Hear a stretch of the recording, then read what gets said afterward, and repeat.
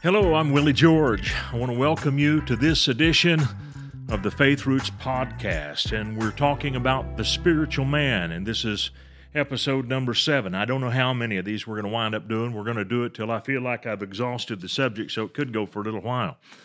But I want to turn you to our text, 1 Corinthians chapter 2, beginning in verse 14. But the natural man receives not the things of the Spirit of God. I want to recap just a minute. A natural person is a person who does not know how to receive revelation knowledge. Keep in mind that knowledge comes to us in two ways through our senses, the five physical senses seeing, hearing, feeling, tasting, smelling. Okay? And, and that's a wonderful thing. We learn a lot about this world that we live in by those five physical senses but that limits us in our ability to know and to understand God because God is a spirit, and they that worship Him must worship Him in spirit and in truth. And spiritual revelation comes in another way. Now, the Bible says that we can't know the things of God unless we're spiritual. They're spiritually discerned. But he who is spiritual discerns all things. In other words, he has the ability to evaluate circumstances and situations that he finds himself in to know what God's will is. Now, David, when he went out to face Goliath, even though he was only 17 years old, had enough revelation knowledge to know that he would win.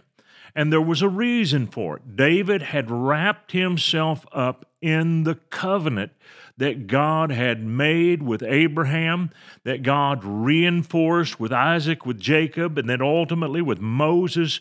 David had wrapped himself up in the covenant.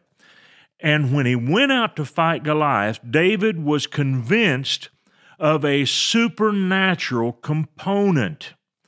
Now, this is so critical. David knew that God would respond supernaturally because it was how God began the covenant relationship that he had with Israel. I want to read to you from Genesis chapter 17. We're going to read a few verses here and then go to Genesis 18. When Abram was 90 years old and nine, the Lord appeared to Abram and said unto him, I am the Almighty God, walk before me, be thou perfect. I will make my covenant between me and thee. I will multiply thee exceedingly. And Abram fell on his face, and God talked with him, saying, As for me, behold, my covenant is with thee, and thou shalt be a father of many nations. Future tense. But then he changes tense right here in verse 5.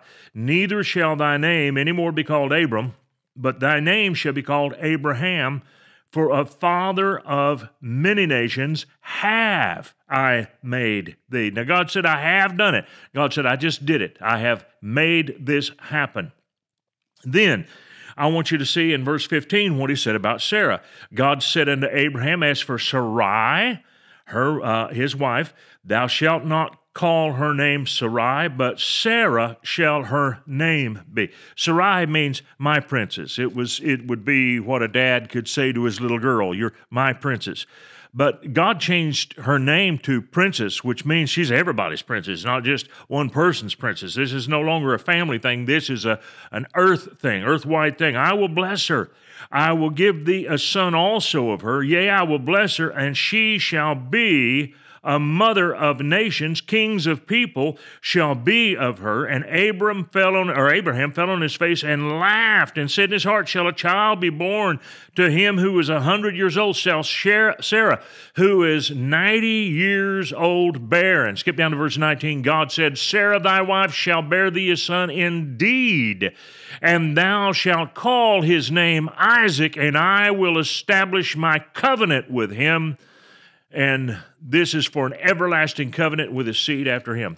So, see, David knew that's my covenant. I have a supernatural covenant, and this covenant began in power, it began supernaturally. Now, next chapter, God comes back for another visit, and he says to Abram or Abraham in Genesis 18 9, Where is Sarah, thy wife? And he said, Behold, in the tent. He said, I will certainly return to you according to the time of life, and lo, Sarah thy wife shall have a son. And Sarah heard it in the tent door which was behind him. Now Abraham and Sarah were old and well stricken in age, and it ceased to be with Sarah after the men of women. She'd already gone through menopause. She wasn't uh, generating an egg every month. She had no possible way of bearing a child. Therefore Sarah laughed within herself, saying, After I'm waxed old, shall I have pleasure, my Lord? Being old also, neither one of us is capable of, of parenting children. And the Lord said unto Abraham, Wherefore did Sarah laugh, saying, Shall I of a surety bear a child, which am old? Is anything too hard for the Lord? At the time appointed, I will return unto you according to the time of life, and Sarah shall have a son. Now, this is awesome. This is how God began his first covenant with people. This first covenant with people through Abraham was begun supernaturally. Since Israel was brought into existence supernaturally, God is going to sustain them supernaturally. God sustains his covenant people by the same ways and by the same forces that he gave birth to them. Listen to me. If we don't believe in the supernatural for any other reason, it should be because of this spiritual law. And it is, and it's a law throughout the scriptures. How God begins is how He sustains, and it's how He ends. He doesn't begin something in one way and then completely abandon that. He keeps going with it. And David knew that. He expected supernatural help because God had given supernatural help for the very beginning of the children of Israel. Is anything too hard for the Lord? Now, Jesus reinforces this idea. This is 2,000 years later, and you can see the same thing is still working. Okay? Look at the book of Mark, chapter 4, verse 35. And the same day, when the evening was come, Jesus said to them, Let us pass over to the other side. So he got them into boats. They were on the, the Sea of Galilee, and he establishes a purpose for that mission.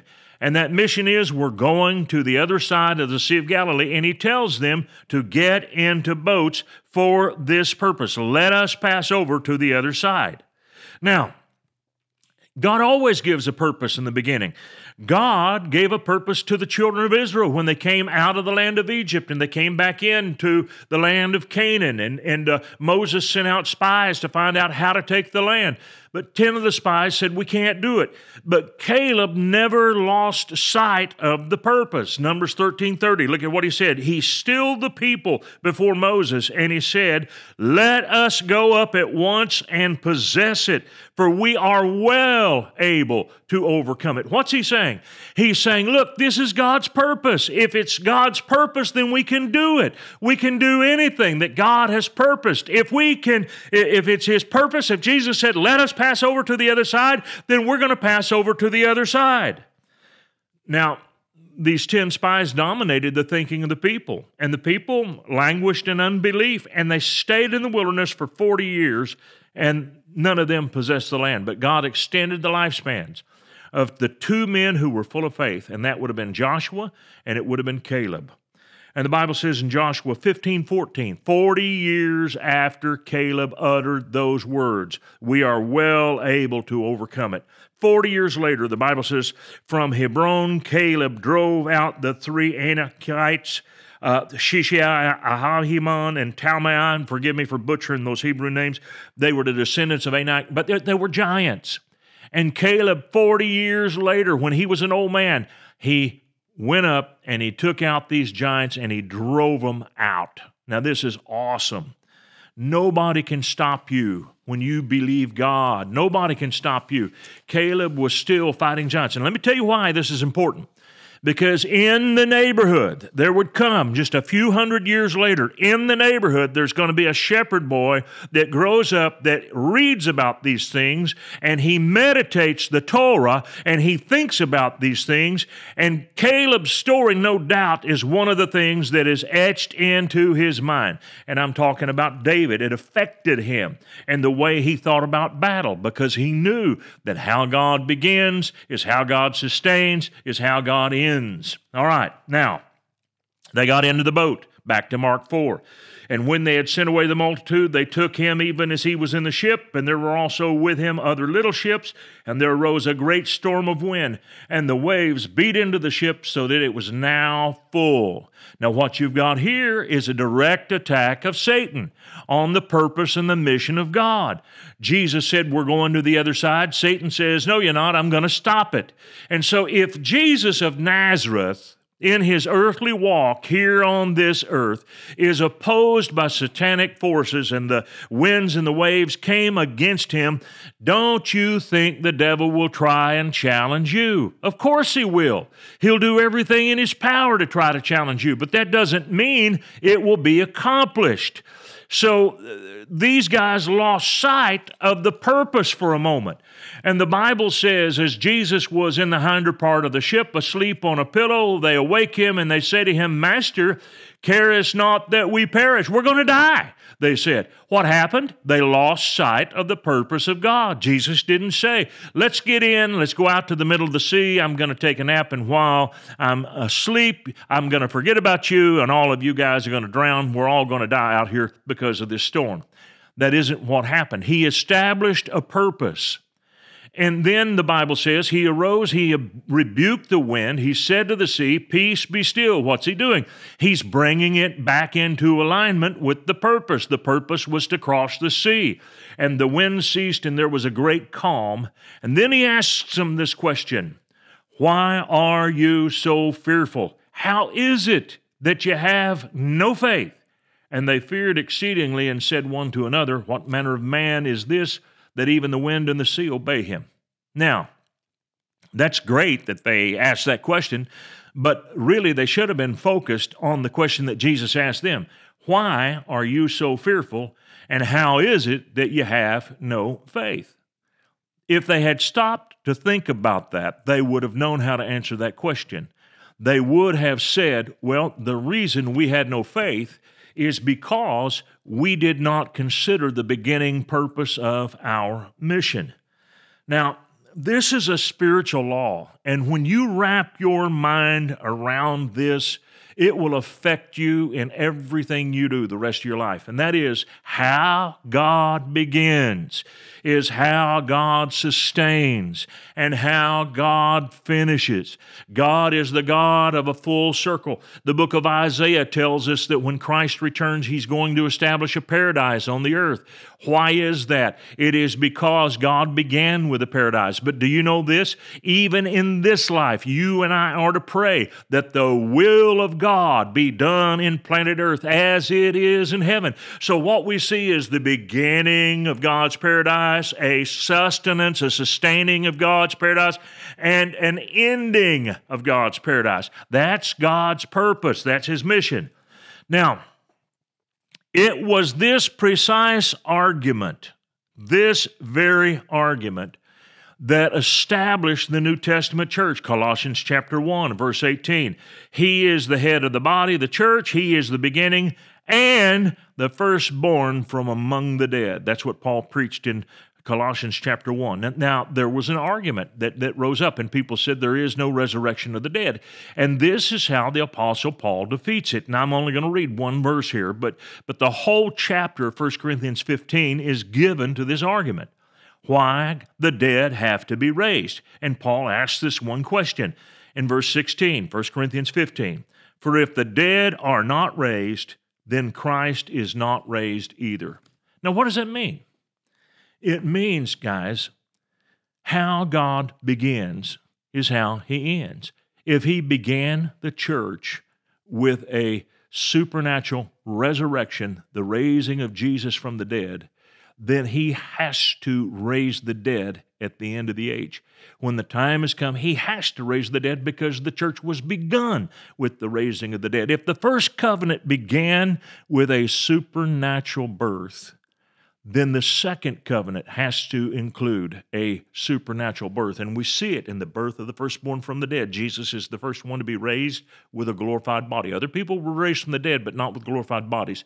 Jesus was the first one to get a body that would never again be subject to death. And you know what? the way you and I enter this family of God that we're called to be a part of is through a supernatural birth.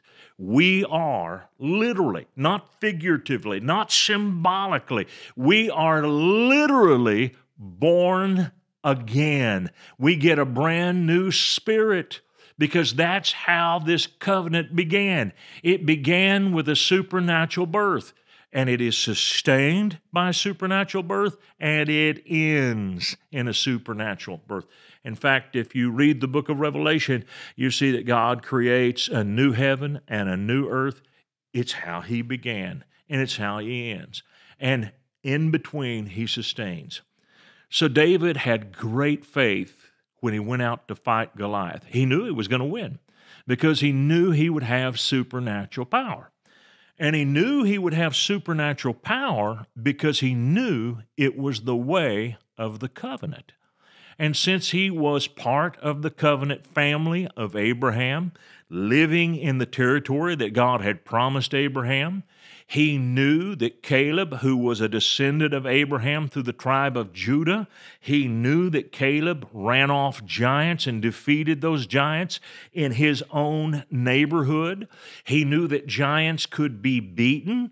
He knew that it happened before in Israel's history. He expected that it would happen again. Goliath and every last one of his brothers, four of them, five all told, four brothers and Goliath make five. Every one of those giants was taken out by David's family, David's mighty men, and by David himself. They defeated them all because it was how God began. So I want to ask you a question How did God begin you? How did you begin? What did He say to you in the beginning? What is your beginning?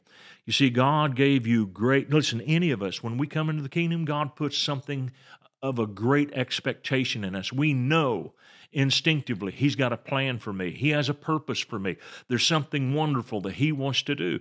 God didn't start you that way just to leave you in defeat, He wants to finish you that way.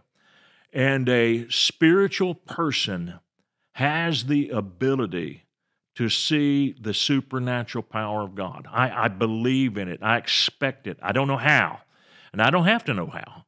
All I have to know is it is my heritage. God will deliver me in a, a wonderful and an amazing way. Well, that is all the time we have for this particular episode, but we're not done. So you stick with me and we will finish this out and we'll stay with it as long as it takes for us to establish what does it mean to be a spiritual man. Thank you very much.